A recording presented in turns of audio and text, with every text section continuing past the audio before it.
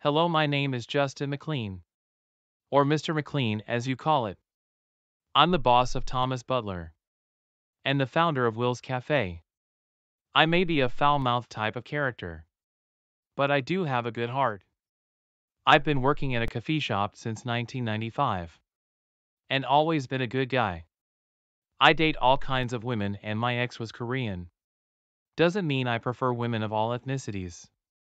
Stay tuned for the series Big Boss soon. Thanks for watching.